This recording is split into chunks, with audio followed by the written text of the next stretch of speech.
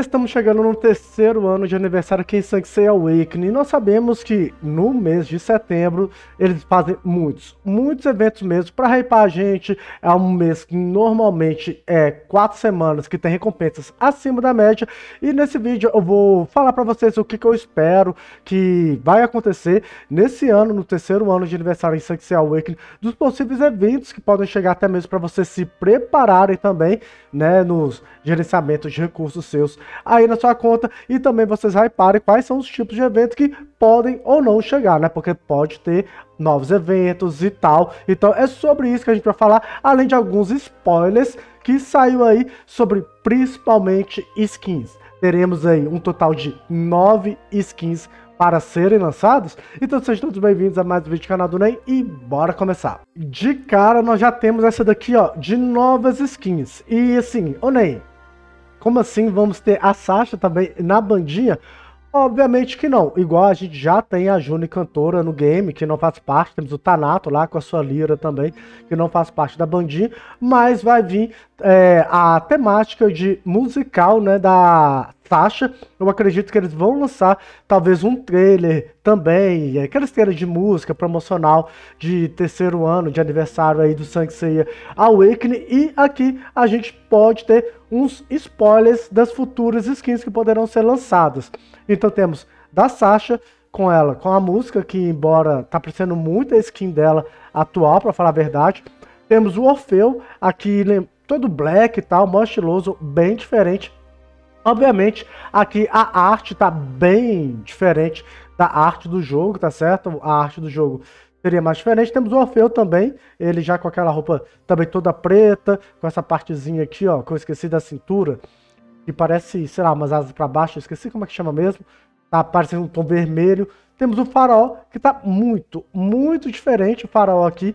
Para começar, ele tá de teclado, né, velho? Evoluiu aí a sua ah, aquele compact, sei lá como é que chama aquele negócio que ele usa. E detalhe, hein? Faraó back vocal, quem diria aí que ele teria também mais um talento. E por fim temos a Pandora, né, com seu vestidinho preto, mais baile de festa e tal, ali no fundo. E essa imagem tá muito top. Eu acredito que essa imagem, que tem essa baleia que ficou muito estilosa aqui, diga-se de passagem, deve ser a tela inicial do jogo né? Qual a gente tem aqui no chinês, que é a do Contra, por exemplo. Aí deve ser essa a tela de aniversário. Beleza que normalmente eles trocam a cada quatro meses, embora tenha bastante tempo que não troca, né? O do Global. Estamos com Lost Canvas, se eu não me engano, agora até deu branco. Então essa aí deve ser a tela temática aí que deve ficar aí, sei lá, uns dois meses até o Natal talvez, com a tela de abertura do game, beleza? A próxima imagem praticamente é, já está no jogo. O Albafka já saiu os arquivos dele aqui no jogo, né? É o ícone da carta dele de PNG, beleza? O Albafka, que a galera de janeiro tá falando quanto que vai vir a skin do Albafka, eu sempre falei. Seis meses depois, né? Que eu acredito que vai ser normalmente no aniversário. Então temos aqui também a, o visual dele, mais um print, porém saiu um videozinho, vamos conferir. Então dispensa comentários, né? A Bombom fez um desenho aí muito top da skin do Albafka, tá muito estiloso, tá mais ou menos a vibe também das skins musicais, né? Com um visual, uma paleta de cores mais preta e vermelha também. E eu acredito, né, que eles devam lançar grátis, como um evento mesmo de comemoração de três anos, porque até mesmo vai vir muita, muitas skins. Lembrando que aquelas musicais eu acredito que não vão lançar todas as cinco, porque são muitas skins, né? Para falar a verdade, eles lançam aí duas, três skins por mês, mas já fica como spoilers de futuras skins que poderão ser lançadas no jogo. Então nós já temos a confirmação que pode vir a skin do Albafka, né? Lembrando que eles também podem lançar de maneira não sei como, paga, é, enfim, eles podem ter aquela coisa de esquecer, mas eu acredito que eles vão lançar como evento. Talvez logo sete dias e ganhe a skin do Albafka. Alguma coisa dessa vibe aí também, beleza? O Nero já é uma realidade, ele vai ser o personagem de a banner de aniversário, tá óbvio que ele não vai vir grátis, você que não junta as suas gemas para pegar ele no primeiro dia, mas já saiu também a skin do Oneiros. Então, né, vamos mais uma skin aí para o mês que vem. Quando saiu essa imagem, sinceramente, eu achei que ela era fake, né? Eu falei assim, ah, de algum outro jogo e tal. Mas depois foi chegou uma outra imagem, que é essa daqui, ó. Que aí a gente já vê, né? É sim a skin do Oneiros. Obviamente ela deve vir como skin flip, né? Daquela do vira carta e a gente pega um buquê de flores que tem atualmente no global, tem até aqui no chinês, ó. Do chinês tá com o Sukiyo, se eu não me engano. Então vai ser essa, esse evento que deve chegar o Oneiros. Beleza? Então, sim, essa imagem eu acredito que ela é oficial mesmo. E essa vai ser a skin do Oneiros, pelo menos de sua forma já de Megazord, tá? Então ainda não temos o visual dele antes da forma de Megazord. Eu até que eu gostei do visual de Megazord. Obviamente está bem longe do que é Sansei Awakening, né? Mas ele Megazord também não parece muito Sansei Awakening, para falar a verdade, né? E é isso. Então teremos mais essa skin, totalizando aí Albafka, Oneiros, mais as 5 da bandinha. Da bandinha, já temos aqui, né, uma no evento, ó. Deixa eu mostrar para vocês aqui na aqui, ó. Olha só. Já temos a skin da Sasha cantora. Ou essa skin é a, a atual? Agora até eu fiquei confuso. Isso aqui é um novo evento, não sei se é login diário, é compartilhar diariamente, se não me engano é, compartilhar. E aqui também tem um anúncio da chegada do Oneiros. O Oneiros vai chegar, se não me engano, em oito dias. Ou é quatro dias? 4 do 8, deve ser 4 de agosto. Acho que ele é de trás para frente. Beleza, compartilhei. Então, esse evento pode chegar no global. Esse aqui já talvez é um evento de pré-aniversário do chinês que pode ser reciclado no global também. Deve ser compartilhar uma imagem todos os dias e vamos receber é, gema, tesouro do santuário, né? ativação, fortalecimento e mais moldura de. Aqui é no chinês é 4 anos, né? Eles é um ano na nossa frente. Então deve vir uma moldura estilo essa, mas vai vir o número 3 aqui, bem coloridinha, bem musicalizada, né? Tá vendo aqui as notas musicais. Por isso que eu acho que aquele, aquela imagem musical vai ser sim a tela principal do jogo, tá bem musicalizada aí a temática do terceiro barra quarto ano, né? Quarto ano chinês terceiro ano global. Esse aqui é outro evento, eu não sei como é esse evento, eu esperei aqui para jogar com vocês esse evento, vamos ver o que, que sucede nele.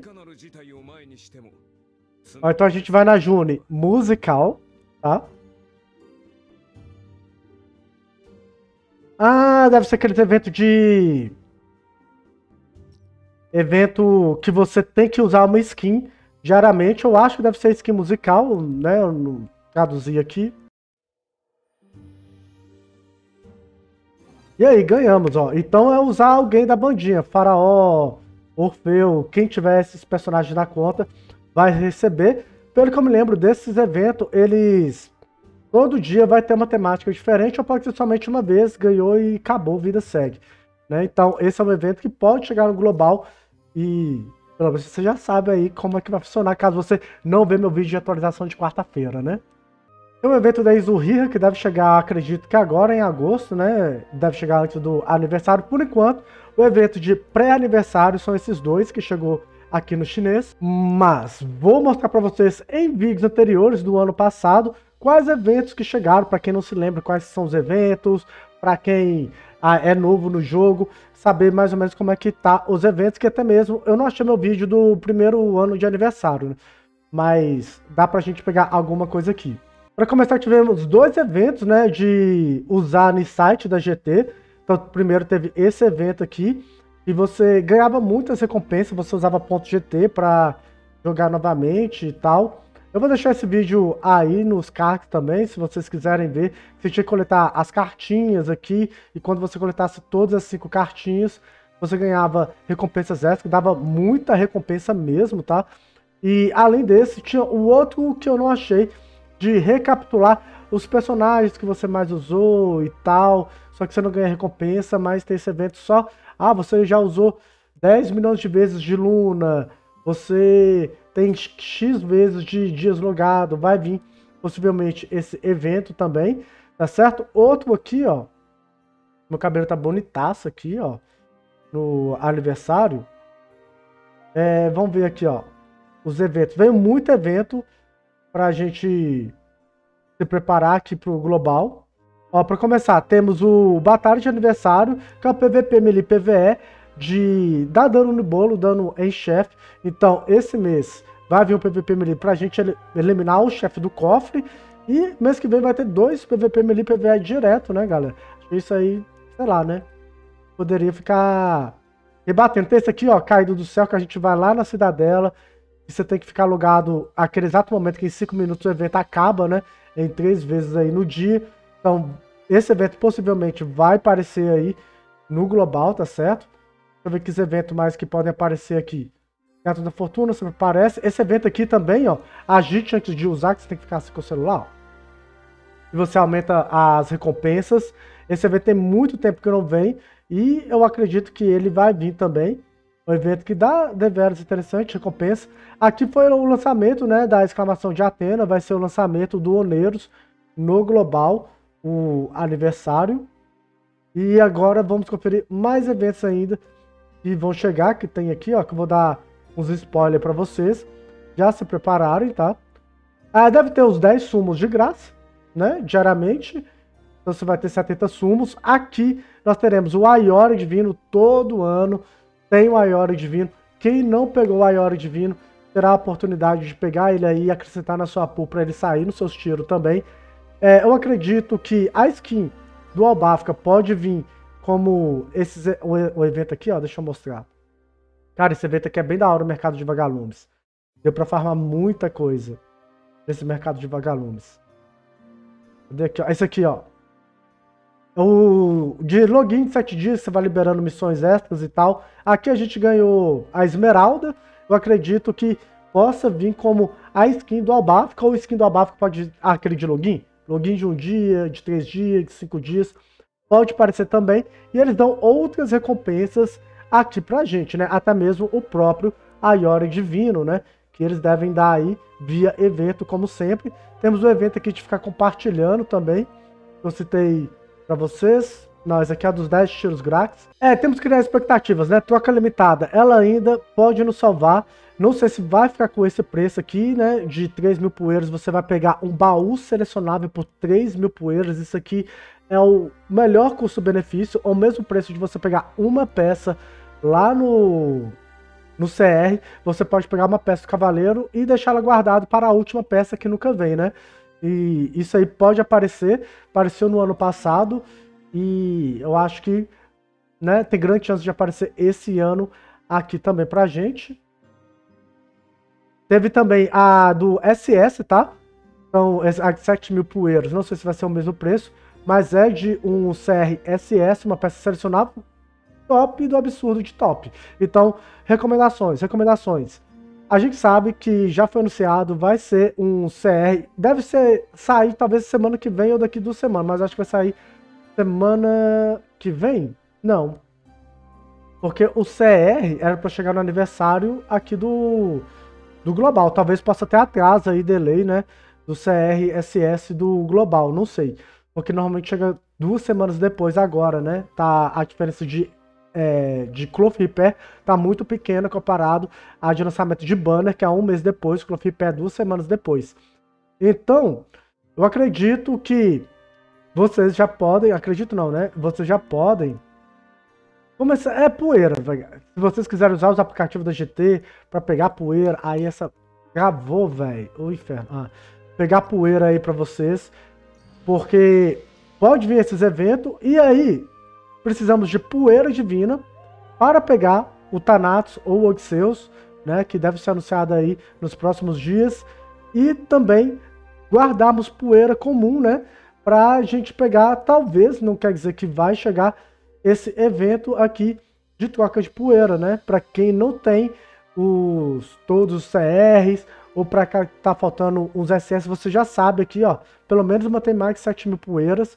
Obviamente, tem que ficar trocando sempre, né? É, poeira divina sempre tá faltando. Mas se você tá naquele hype de ficar comprando peça, toma cuidado para ficar comprando peça aí de alguns personagens e. Só dica, né? Depende aí da, da sua conta, mas vir um SS vai ficar top pra caramba. E de resto, acho que não teve mais nada assim de interessante aqui no, nos eventos. Eu vou deixar esse vídeo aqui também nos cards. Se vocês quiserem ver esse vídeo aqui dos eventos do segundo aniversário, fica à vontade de acessar os cards aí, beleza? Isso aí é um pouquinho do que vocês podem hypar para o terceiro aniversário do servidor global. Já estava esquecendo, olhando aqui a minha colinha. Cara, contas camarada. Deve vir recrutamento de camarada, né? Então, você fazendo agora a sua conta, talvez você consiga, né? Se o evento chegar, lá, tipo, 7, dia 8, você já consegue fazer. Eu recomendo fazer quatro contas né? Depende da sua disponibilidade, porque você pode, se o evento retornar muito rápido, usar as outras duas contas e participar do evento do camarada, que né, não é um evento pay to win, é um evento free to play, nem pay to win consegue fazer ele, ou ele arranja camarada, ou ele cria sua conta, ou ele vai ter que pagar alguém fora do jogo para criar uma conta para ele. Então é uma, um evento que ele não vai conseguir as recompensas pagando no jogo, só pagando terceirizando, né? Então é uma conta, é um evento assim que já praticamente é free to play e tá vindo aí a cada três meses pelo menos ele tá retornando e a galera que já tem suas contas camarada está aproveitando bastante. Eu recomendo fazer quatro porque tem vezes eles lançam uma vez por mês e dá um delay de seis semanas, né? Quando você termina o evento do camarada e eles lançam tipo cinco semanas depois, você tem um delay ainda da segunda semana do camarada que aí não conta pro mês seguinte. É por isso que é interessante ter quatro contas, que aí você usa as outras duas. Beleza? Aí você aproveita também, nesse momento você dá tiro e doa fragmento para você para sua legião.